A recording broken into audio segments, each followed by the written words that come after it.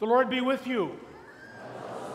Welcome to worship on this beautiful day in the most beautiful sanctuary in Lawrence, Kansas. Also, a warm welcome to those worshiping at home via live stream, and then, of course, later at 11 o'clock on the KLWN radio broadcast. We encourage everyone sitting toward the center aisle to please sign our worship pads passing to the side and then back to the center again. If you're interested in more information on Trinity, uh, please note that on the pad, if you, uh, if you will. We have a great list of upcoming forum speakers this morning. Uh, Catherine Dinsdale, a longtime Family Promise Board member, will speak of some of the new developments within that organization, and I've asked Deb Boatwright to speak on Family Promise as well. But that forum will be right after this worship service in the fellowship hall. Good morning. Good morning. Following worship today, the adult forum will feature a presentation on Family Promise by Catherine Dinsdale, a founding board member of this important community ministry. As you know, Trinity is an active partner in this ministry and has been since its founding in 2008. Catherine will share her Family Promise story and talk about some important changes taking place this fall. She will also discuss ways in which Trinity, as well as each of us, can participate and support their mission, empowering families in a housing crisis to achieve stabilization through community connections. Please join Catherine and me in the fellowship hall as we learn how Family Promise is adapting to new opportunities and what that can mean for us. I hope to see you there. Thank you. One of the uh, extensive things that we did before the capital appeal is we did an extensive survey in the congregation. I think we had roughly uh, 80 interviews that Joe Crowther conducted, and one of the primary, in fact, the, the number one thing that you all said to Joe Crowther is we want our congregation to make an impact in the community. And your attendance at this forum that follows is one opportunity uh, that you um, have. Uh, there's no obligation, um, but it's, uh, it would be very, very helpful for you to learn more about Family Promise. Uh, next week, you have a choice between Pastor Randy's Bible study in the social room uh, or an informational session on a Stephen ministry. Kathy Box and Brenda Albright have completed or nearly completed extensive leadership training, and uh, there's a new class in the works for this fall. So there's more information will be shared uh, next week. And for the first time ever uh, in my lifetime, I have some allergies. So um, if I start coughing uh, during um, the sermon, uh, just enjoy my discomfort. Uh, or scroll through your emails and I'll have some lozenges and water, take a break, and we'll get through it together. Uh, it would be helpful to me, though, if you just averted your eyes. You know, if you didn't just sort of look at me um, while I'm coughing through. Uh, I'll, I'll recover, I promise. If you would, please stand for the confession and forgiveness. In the name of the Father, and of the Son, and of the Holy Spirit. Amen. Almighty God, to whom all hearts are open, all desires known, and from whom no secrets are hid, cleanse the thoughts of our hearts by the inspiration of your Holy Spirit, that we may perfectly, perfectly love you and worthily magnify your holy name through Jesus Christ our Lord.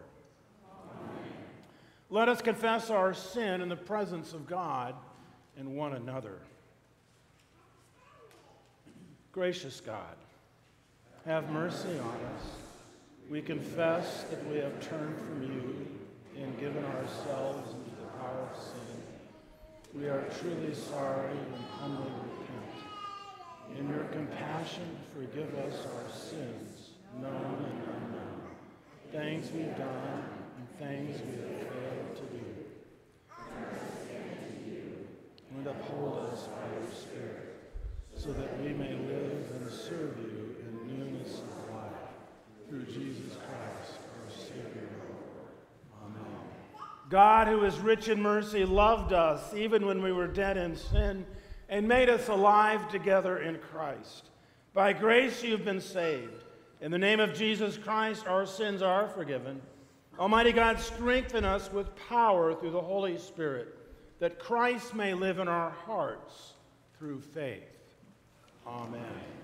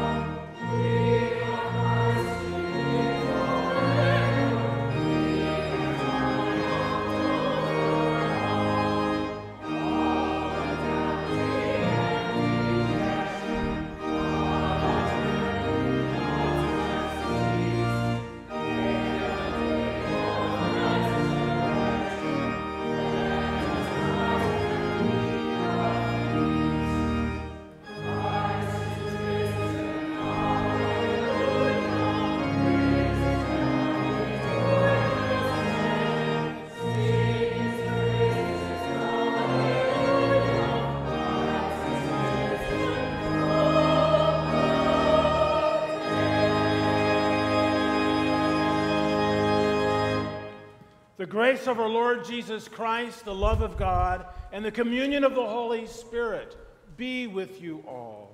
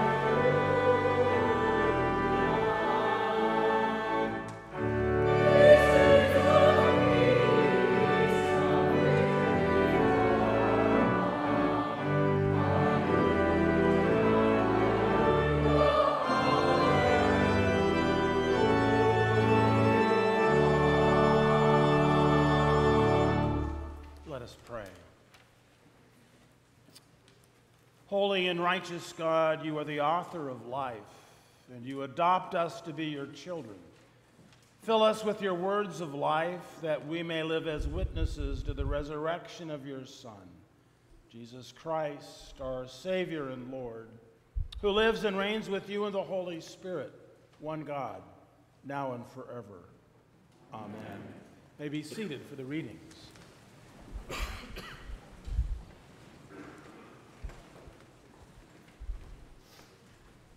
First reading is a reading from Acts. After healing a man unable to walk, Peter addressed the people You Israelites, why do you wonder at this, or why do you stare at us, as though by our own power or piety we had made him walk? The God of Abraham, the God of Isaac, and the God of Jacob, the God of our ancestors, has glorified his servant Jesus whom you handed over and rejected in the presence of Pilate, though he had decided to release him. But you rejected the holy and righteous one and asked to have a murderer given to you. And you killed the author of life, whom God raised from the dead. To this, we are witnesses, and by faith in his name, his name itself has made this man strong, whom you see and know and the faith that is through Jesus has given him this perfect health in the presence of all of you. And now, friends, I know that you acted in ignorance, as did also your rulers. In this way, God fulfilled what he had foretold through all the prophets that this Messiah would suffer. Repent, therefore and turn to God so that your sins may be wiped out. The word of the Lord.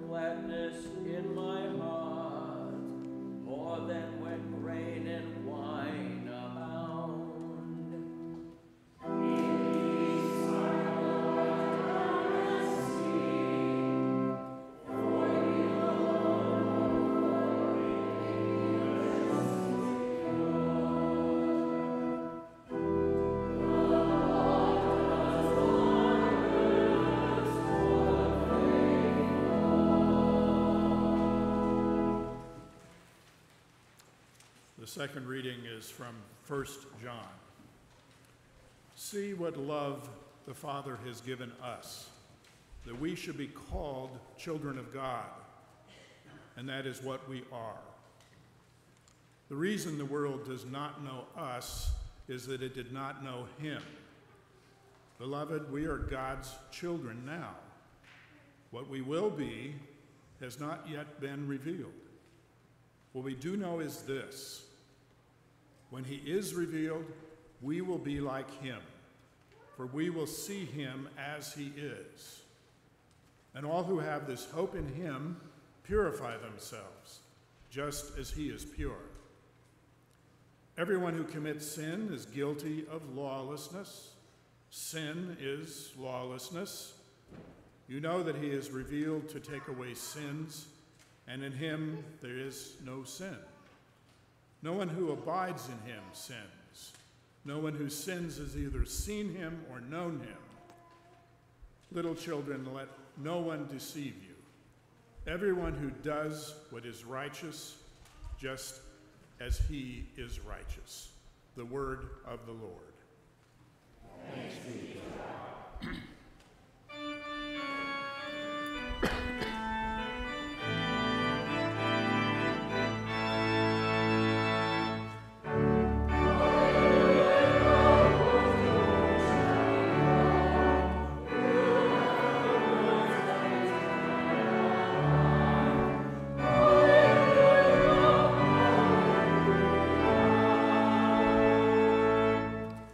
Holy Gospel according to St. Luke. Jesus himself stood among the disciples and said to them, Peace be with you. They were startled and terrified and thought they were seeing a ghost.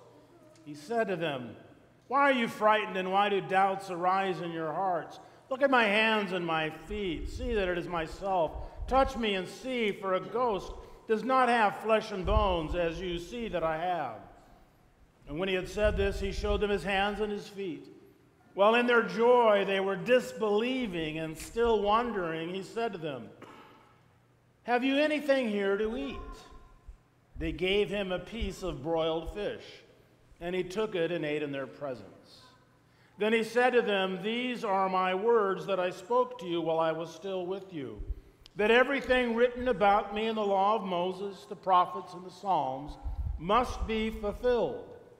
Then he opened their minds to understand the scriptures, and he said to them, Thus it is written that the Messiah is to suffer and to rise from the dead on the third day, and that repentance and forgiveness of sins is to be proclaimed in his name to all nations, beginning from Jerusalem.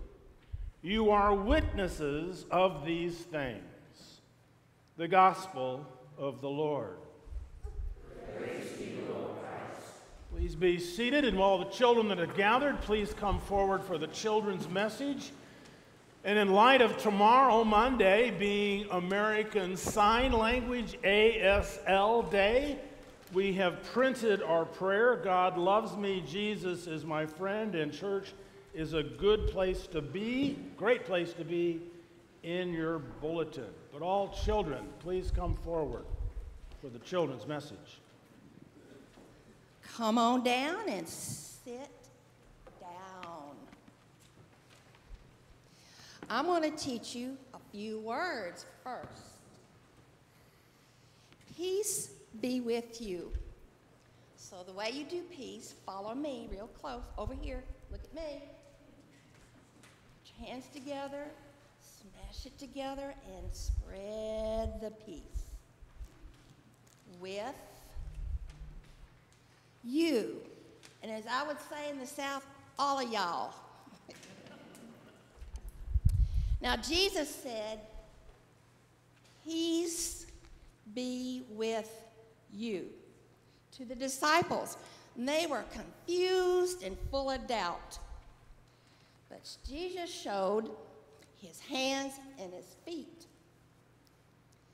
and even ate broiled fish to prove that he was real and not a ghost. Watch me now. Jesus opened their minds to understand the scriptures that he had spoke while he was with them. Now I'm going to read what he said. Everything written about me from Moses, the prophets, and Psalms must be fulfilled, done. Thus it is written that the Messiah was to suffer and to rise from the dead the third day, and that repentance and forgiveness of sins was to proclaim his name to all nations, beginning in Jerusalem, and you're all witnesses to it. Now, this is where this comes in. Y'all watching? This is called Taking Faith Home. And it said at the very top Jesus' resurrection brings peace and forgiveness. So let's say, all right, all of y'all, all old kids out there, do peace, put your hands together, smash it together, and spread the peace and forgiveness. Yes, okay. Let's say our prayer. All right, you little ones, show the older folks how to do this. So let's do it with me. God loves me. Jesus is my friend. Church is a great place to be. Amen. Y'all go back home. You older kids, be sure to study this now. Thank you. But, but Sonny, can you, can you teach us to sign all y'all? All, all y'all.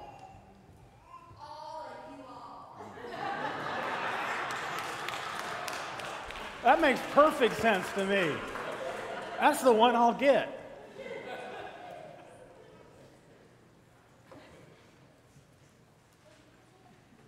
Jesus himself stood among them and said, Peace be with you. Luke records that Jesus showed everyone, not just Thomas, the wounds in his hands the wounds in his feet. Jesus doesn't seem overly interested in their joy and their disbelieving because Jesus asks, What do you got to eat? And they give him a piece of broiled fish. Now, the specificity, the detail of that should add to the veracity of the story. As someone who came of age in the last century and, and used, to give, used to give sacramental status to openness, this homily is a response to a culture that seems hostile to the substance of the Christian faith and yet seems to give a free pass to the belief systems of all sorts of faiths, majoring in speculation and opinion, but minoring in specifics. Now, the late senator from New York, Daniel Patrick Moynihan, his quote fits Everyone is entitled to their own opinion, but no one is entitled to their own facts. Who knows how he would respond to the phrase alternative facts? So, this is my annual cranky apologetics message. Now, apologetics does not mean I am sorry for, but rather it's an explanation of. Because you see, our faith stands or falls on the death and resurrection of Jesus Christ. Now, Matthew, Mark, Luke, and John, they record different details about the crucifixion and the resurrection. But having something different to say can add credibility to the same event. Now, trust might be a bit better of a word than belief to describe what lies at the heart of faith. Because faith has more to do with a relationship than an explanation. And yet, in order for me to, to get to trust you, especially if it means influencing the way I live, you're going to have to give me something more than your personal opinions. Now, if you're selected for a jury, you're asked to have no preconceptions. You're expected to be open minded, drawing conclusions based not on speculations. You're expected, you, you, you, you, consider the credibility of the witnesses, and you, you're to sift through the testimony. Now, a verdict does not mean 100% certainty. The legal standard is a preponderance of the evidence, or more likely than not generally understood to mean in a civil jury, you're more than 50% sure. Now, one critique of Christianity is in the reliability of the Gospels. Now, the argument goes is that the Gospels they are questionable because the earliest versions of the Gospels were written about 70 years after Jesus' death and each writer has their own perspective, each writer has their own agenda. Well, it was an oral culture. There were no ravens. There were no libraries. There was no Amazon. It was an oral culture. Not many could read, and far fewer could write. And the two earliest biographies of Alexander the Great were written hundreds of years after his death. And historians considered those bi- biographies to be reliable. So, what's fair is fair. And further, before the resurrection, the 12 They were a constant source of disappointment to Jesus. They get in the way of children. Jesus tells about his coming suffering and death, and, and they argue about who can have the best seats in the coming kingdom. Jesus asks them to stay awake, and they fall asleep. Peter denies knowing Jesus.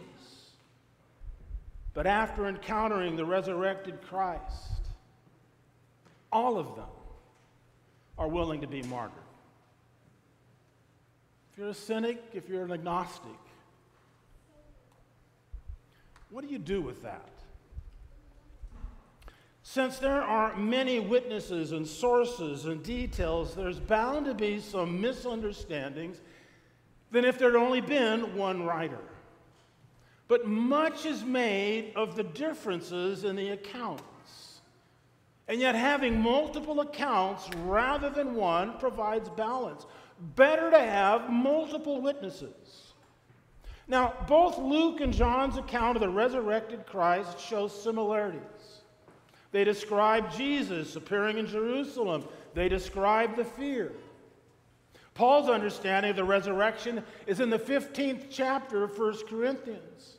He's once a persecutor of Christians, now he's older and in a pain that he never describes. He reminds them that Jesus was buried, raised on the third day. Then he appeared to Cephas and the 12. Then he appeared to more than 500 people who are still alive. Then to James and the apostles. Finally, he appeared to someone as unfit as me. And then Paul provides details on 500 or so other people if the folks at Corinth wanted to check out the story with corroborating witnesses. We get a taste of St. Peter's understanding of the resurrection in the first reading that Kevin read. The context is that Peter has just healed someone, and the crowds, they're clinging to Peter. The crowds are running to Solomon's portico in, in astonishment, and then Luke records Peter's sermon.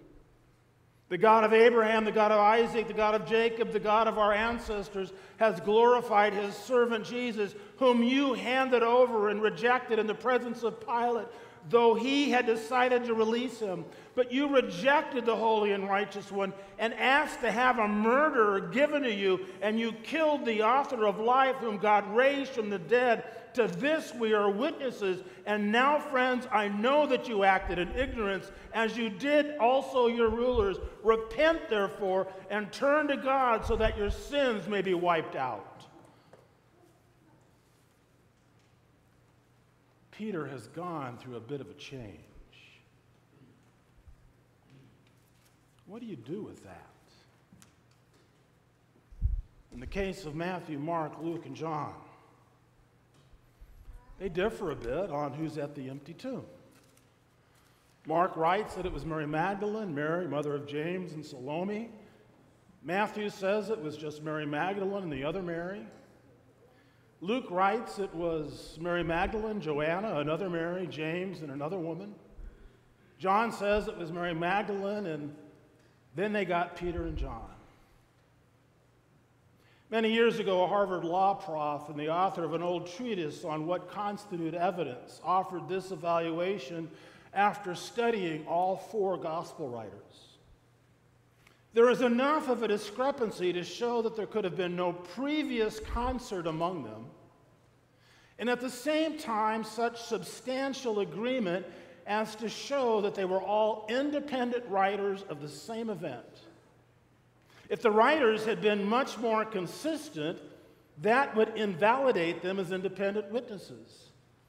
If this had been the case, there would likely be just one witness that the other three were parroting. Several years ago, I simplistically compared the way the different perspectives and personalities of Matthew and Mark and Luke and John approached writing their gospel to say if if all of us, or even if 25 of us, went to, went to see a Chiefs and Las Vegas Raiders game, and then we all wrote an account of that game. It's likely if we all wrote an account of that game, everyone would include the score, except maybe Candace. Most of us would include something about the poetic play of Patrick Mahomes. Now, there's one Las Vegas Raiders fan here. He would probably include that Patrick Mahomes was too protected by the refs and his quarterback didn't get the same calls. Someone would mention the absence or the presence of Taylor Swift. Candace might not even include the score since football is violent, causes brain injuries, and, the, and causes dementia. We've not watched a Super Bowl game with anybody in 10 years.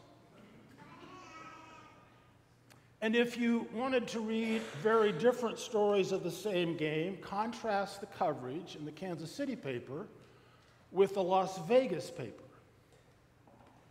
Same game, different coverage, because there are different readers. And some of us may look over our shoulder at what someone else wrote to remind us of a particular play.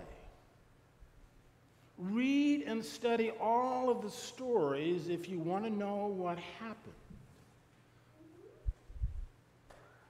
That's if we wanted to know what happened. And over time, probably three or four stories would come into common usage and that would be the canon. Now, as I just shared this, I need to confess that for the last minute, I have had the late Professor Roy Harrisville of Luther Seminary screaming inside my head saying, Jeffrey, what you summarized in 60 seconds took me a full semester of how the Bible came to be. But an African scholar thoughtfully asked this question and I like this question. Why did Jesus keep the scars from the cross? Jesus could have any resurrected body he want, but he chose one with identifiable scars that could be seen and could be touched. Why do you think Jesus kept the scars?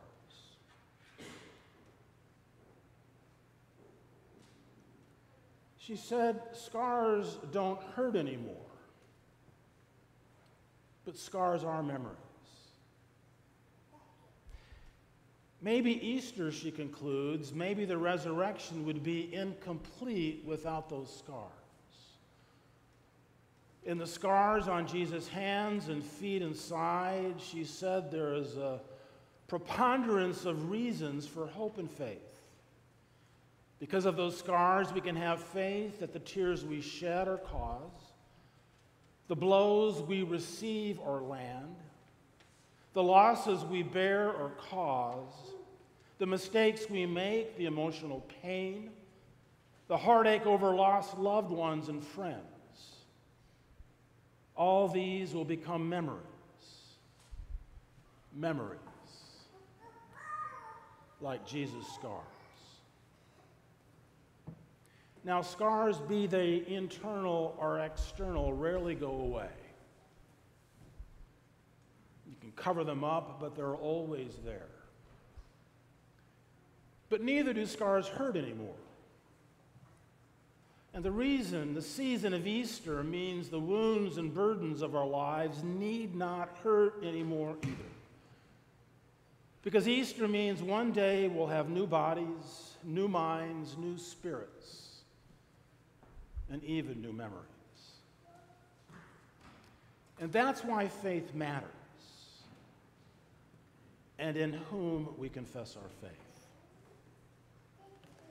Amen. Please stand for the hymn of the morning.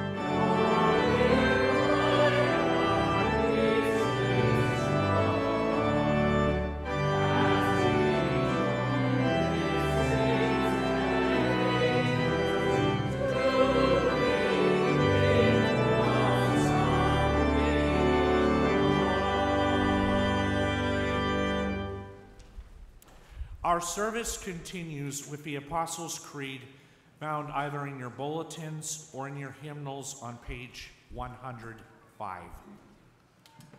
I believe in God, the Father Almighty, creator of heaven and earth. I believe in Jesus Christ, God's only Son, our Lord, who was conceived by the Holy Spirit, born of the Virgin Mary, suffered under Pontius Pilate, was crucified, died, and was buried. He descended to the dead. On the third day, he rose again. He ascended into heaven. He is seated at the right hand of the Father, and he will come to judge the living and the dead. I believe in the Holy Spirit, the Holy Catholic Church, the communion of saints, the forgiveness of sins, the resurrection of the body, and life everlasting. Amen. Rejoicing that Jesus is risen and love has triumphed over fear, let us pray for the church, the world, and all those in need of good news. We pray for peace everywhere between Iran and Israel, Russia and Ukraine, in Gaza, and everywhere in the world where violence reigns. We pray Micah's prophecy is fulfilled in our day, that nations will disarm and beat their swords into plowshares and their spears into pruning hooks, that no nation will not lift up sword against another nation, neither shall they learn war anymore. God of grace, hear our prayer. You bring forth all life on earth. Calm storms, bring water to parched places, and protect the climate, that this planet would sustain life in all its variety. God of grace, hear our prayer. You offer wisdom and guidance beyond human knowledge. Instruct lawmakers, judges, and elected officials to make decisions grounded in your justice and care for all people. God of grace, hear our prayer. You bring all people together in you. Help us to remember our identity and purpose in our ministry. Move us to love our neighbors as ourselves and to share in beloved community. God of grace, hear our prayer. And into your hands, most merciful God, we commend for all for whom we pray, trusting in your abiding love, through Jesus Christ, our resurrected and living Lord. Amen. The peace of Christ be with you always. Please share the peace of Christ with your neighbor.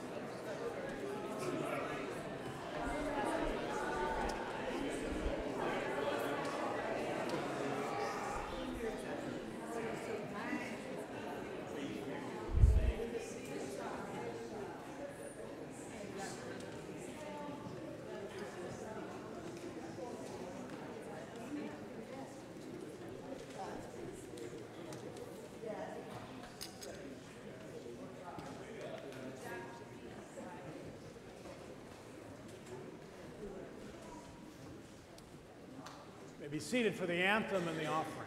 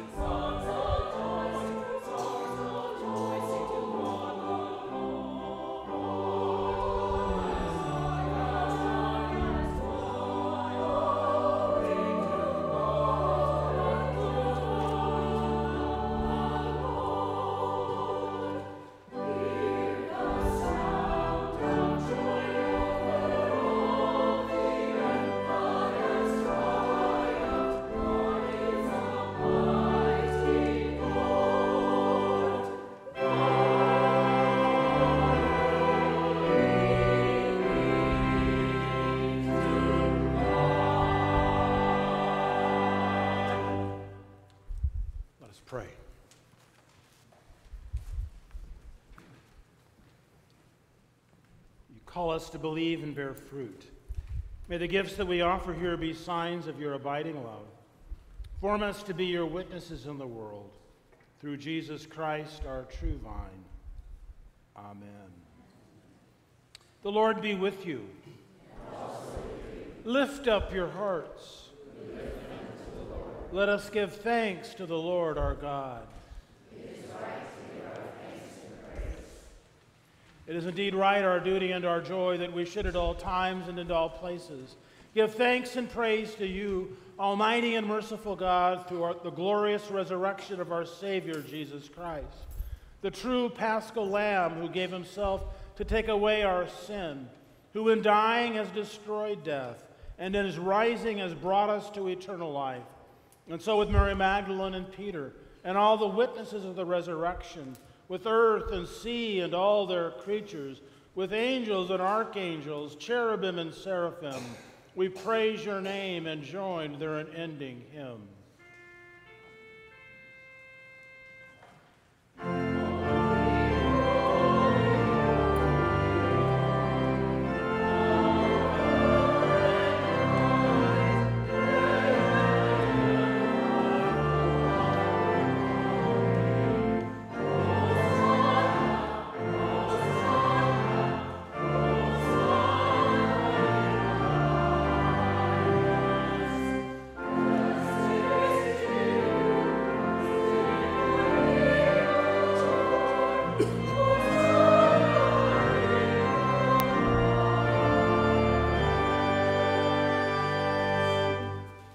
The night in which he was betrayed, our Lord Jesus took bread and gave thanks, broke it, and gave it to the disciples, saying, Take and eat. This is my body given for you. Do this for the remembrance of me. Again, after supper, he took the cup, gave thanks, and gave it for all to drink, saying, This cup is a new covenant in my blood, shed for you and for all people, for the forgiveness of sin. Do this for the remembrance of me. Lord, remember us in your kingdom and teach us to pray. Our Father in heaven, hallowed be your name. Your kingdom come, your will be done, on earth as in heaven. Give us this day our daily bread. Give us our sins, as we forgive those who sin against us. Save us from the time of trial. and Deliver us from evil. The kingdom, power, glory are yours, now and forever. Amen. If you brought the elements in with you, you may commune at this time with these words the body of Christ given for you, the blood of Christ shed for you. If you'd like to come forward to commune by intinction, simply place your open hand before the assisting minister, and then once you've received the wafer, you may dip it into the chalice. We also have gluten free elements either on the back, usher's table, or here. Uh, if you'd like gluten free elements, either go to the usher's table or ask me, and they'll be provided to you. We practice open communion here. You are welcome to receive the sacrament of Holy Communion. Please come.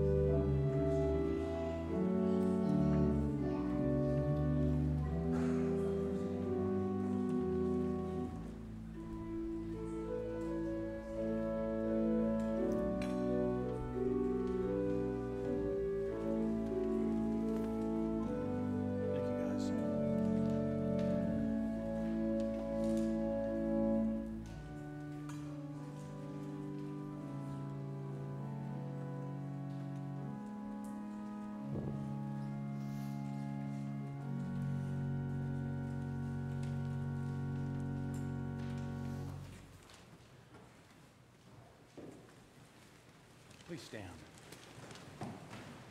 May the body and blood of our Lord and Savior Jesus strengthen you and keep you in his grace. Amen. The Lord bless you and keep you.